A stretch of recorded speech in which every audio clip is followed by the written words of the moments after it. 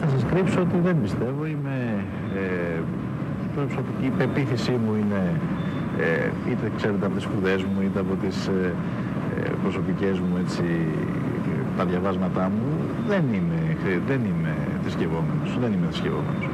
Ε, και πιστεύω ότι ίσως οι περισσότεροι που ε, ασχολούνται με τα κοινά της αριστεράς ναι. είναι γνωστό ότι δεν είναι θρησκευόμενοι.